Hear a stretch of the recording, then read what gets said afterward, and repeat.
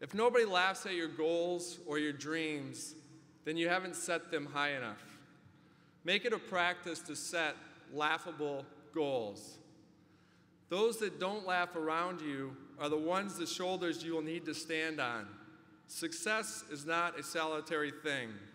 And remember to thank these people. Selfishly, I'd like to take this moment to thank the countless people, many of which are here at this university, that have boosted me up on their shoulders. Now, I'd like all you graduates to please stand up.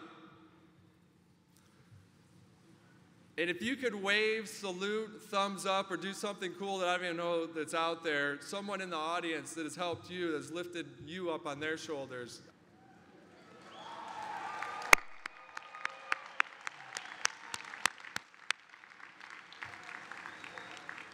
Now, if you could also hug the person to your right and the person to your left.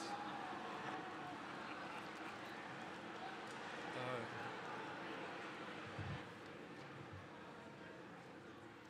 make hugs and thank yous a habit during your life.